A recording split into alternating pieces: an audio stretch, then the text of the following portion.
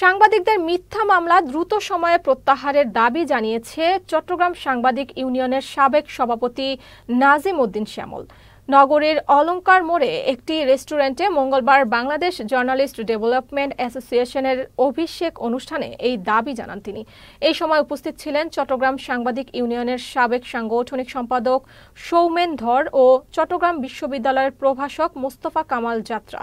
পরে Bangladesh journalist development অ্যাসোসিয়েশনের নতুন কমিটি ঘোষণা করা হয়।